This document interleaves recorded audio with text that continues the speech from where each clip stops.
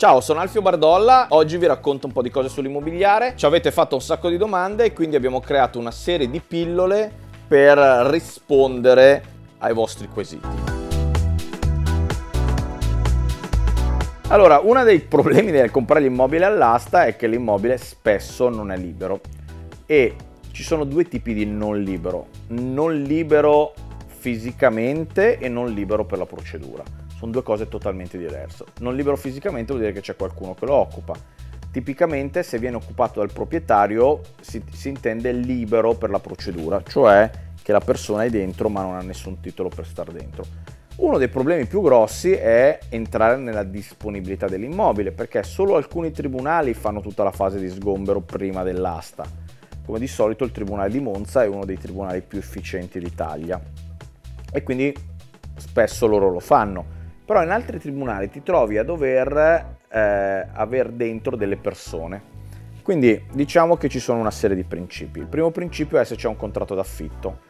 non succede quasi mai, ma se c'è un contratto d'affitto antecedente il pignoramento, la data di pignoramento lo trovate nella perizia, vale il contratto d'affitto.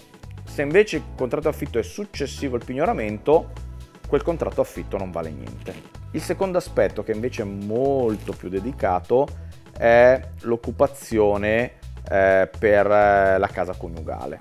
Cioè, se marito e moglie divorziano e quella viene assegnata come casa coniugale, sembrerebbe che ci sia un diritto per starci dentro nove anni. Quindi voi per nove anni, eh, e non, non, è che leggete, magari c'è, c'è una noticina assegnazione casa coniugale e voi non ci fate caso, nove anni questa signora ha il diritto di starci dentro a spese vostre.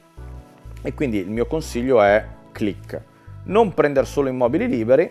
Un altro consiglio è prima di andare all'asta magari citofonate, magari parlate con l'esecutato e chiedetegli se è disponibile. La mia tecnica per liberare gli immobili è abbastanza semplice. Una volta che mi sono aggiudicato l'immobile, citofono e se c'è dentro qualcuno cerco di fare un accordo perché vada via molto velocemente. Nel 50% dei casi le persone hanno già i cartoni pronti e sono pronte a spostarsi, in altri casi invece bisogna aiutarli per muoversi fuori dalla casa, quindi aiutarli a trovare una nuova casa o a avere la casa popolare oppure magari dargli qualche incentivo economico per spostarsi. La mia tecnica è più sono veloce a liberarlo, prima ristrutturo la casa, prima la vendo e prima il mio cash flow gira.